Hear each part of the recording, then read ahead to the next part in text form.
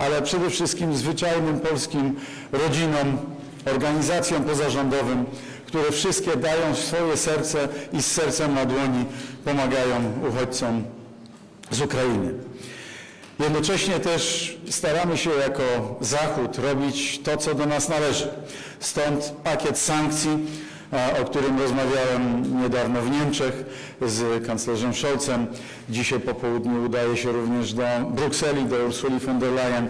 Tam będziemy rozmawiać o Ukrainie. Będziemy rozmawiać o tym, jak wspierać e, Ukrainę od strony humanitarnej, ale także od strony moralnej ponieważ ta walka toczy się właśnie również o pokój, również o, o bezpieczeństwo tej części Europy. Dlatego dziękuję za każdego brytyjskiego żołnierza, który tutaj też nam pomaga, z nami jest tutaj na naszej polskiej ziemi bo to jest e, w tym momencie bardzo, bardzo ważne. A więc pakiet sankcji z jednej strony i wzmocnienie wschodniej flanki Paktu Północnoatlantyckiego, wzmo- wzmocnienie wschodniej flanki NATO. To jest to, co dzisiaj potrzebujemy, to jest to, na czym się dzisiaj koncentrujemy. O, tych, o tym wszystkim rozmawialiśmy dzisiaj bardzo szczegółowo z Borysem, także o pogłębieniu współpracy polsko-brytyjskiej w tych obszarach, w obszarze bezpieczeństwa. Zapewnienie bezpieczeństwa leży u podstaw rozwoju, rozwoju gospodarczego, społecznego. Dziś musimy zapewnić bezpieczeństwo. Dziś apelujemy o zaprzestanie walk ze strony rosyjskiej, zaprzestanie tej agresji o to, żeby oddziały rosyjskie wróciły do domu, żeby rozpocząć konferencję pokojową, żeby zostawić Ukrainę, żeby zostawić bezpieczną, integralną terytorialnie Ukrainę. To jest szansa dla wszystkich, żeby wrócić do momentu pokoju, wrócić do normalnego czasu, w którym państwa mogłyby ze sobą współpracować. Bez tego musimy mm, stosować te zasadnicze sankcje, bo to jest nasza jakby podstawowa, jedyna broń Zachodu. Chcemy być po stronie tych, którzy bronią wolności. Jesteśmy po stronie tych, którzy bronią wolności. Szanowni Państwo, dzisiaj niestety konfrontujemy się też z dramatycznymi scenariuszami e, w Ukrainie, z dramatycznymi wydarzeniami. Cywile giną, dzieci, kobiety, e, osoby starsze e, giną po prostu od bomb, od pocisków, od rakiet, od kul rosyjskich żołnierzy. Rosyjskich żołnierzy wysłanych tam przez Putina. I temu przede wszystkim chcemy zapobiec. Rozlewowi krwi, chronić osoby cywilne. Stąd nasz wielki wysiłek od strony, em, od strony humanitarnej także. A więc podsumowując, pomóc Ukrainie w utrzymaniu wolności, utrzymaniu niepodległości, w utrzymaniu suwerenności, jednocześnie pokazywać, że jesteśmy e, gotowi bronić po prostu naszej wolności i naszego bezpieczeństwa i wykonywać to, co człowiek powinien w takiej sytuacji robić wobec drugiego człowieka, czyli pomoc z sercem na dłoni, pomoc humanitarna, pomoc wobec wszystkich uchodźców, których dzisiaj niestety jest coraz więcej, ale w nadziei na to, że nasza silna e, współpraca, nasza bliska współpraca, nasza zdecydowana postawa doprowadzi do em, zwiększenia bezpieczeństwa w tej części świata i przywróci świata i przywróci pokój na Ukrainie. Tego oczywiście życzymy sobie, ale to nie tylko życzenia, to także nasze wspólne działania razem z Borysem, żeby do tego doprowadzić. Dziękuję bardzo. Thank you. Dziękuję bardzo panie premierze i bardzo proszę o zabranie głosu pana premiera Borisa Johnsona. Uh, Thank you very, very much, Mateusz, and dzień dobry again, everybody. It's great to be back uh, here in, in Warsaw. Uh, great to, to, to see you again, Mateusz, so soon. And it was only a couple of weeks ago that, as you say, that we were here.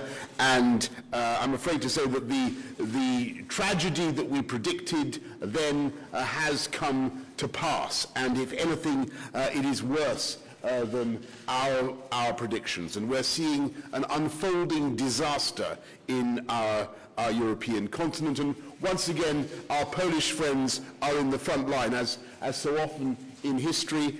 And uh, I may say, I think that the Polish government and the Polish people are doing an amazing job, an inspirational job of coping with the humanitarian crisis. The generosity, uh, the welcome that you're giving to uh, people fleeing uh, in fear of their lives from, uh, from Ukraine. And we in the UK uh, stand ready to help you. We have uh, humanitarian supplies, as you know, uh, already coming in. I think two planes of medical supplies have already landed. There's more to come.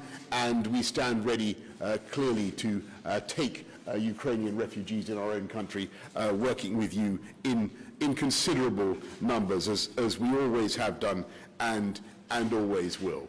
It is clear, as you say, Mateusz, that, that Vladimir Putin is prepared to use barbaric and indiscriminate tactics against innocent civilians to bomb uh, tower blocks, to send missiles into tower blocks, uh, to kill uh, children, uh, as we're seeing in increasing numbers.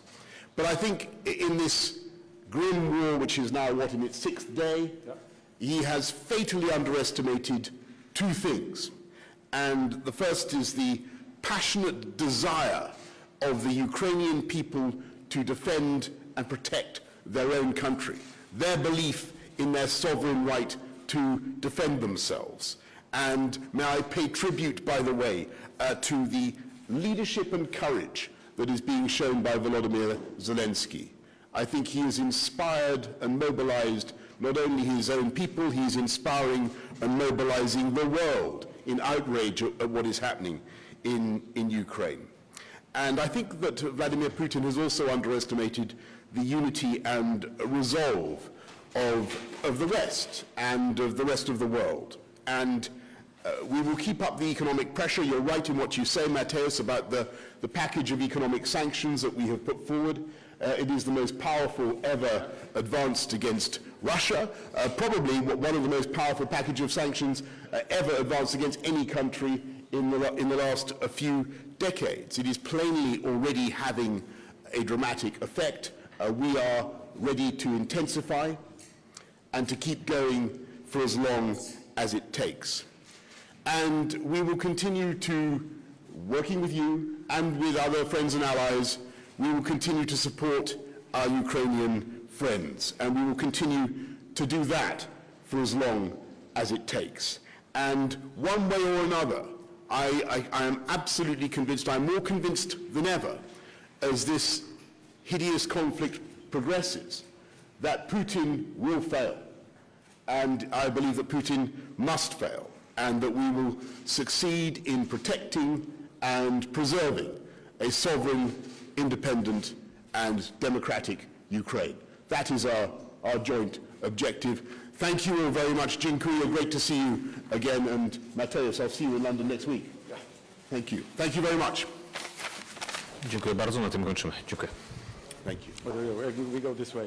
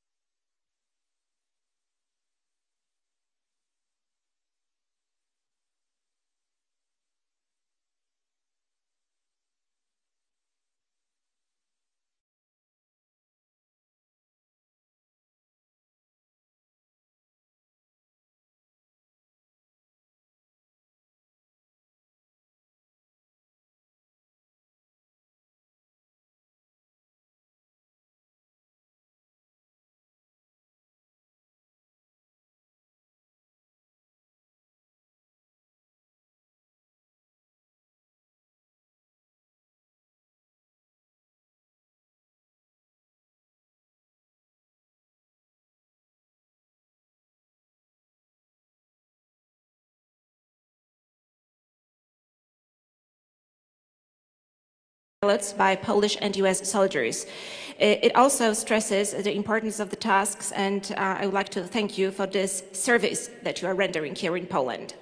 W czasie spotkania z panem sekretarzem generalnym, z panami generałami omówiliśmy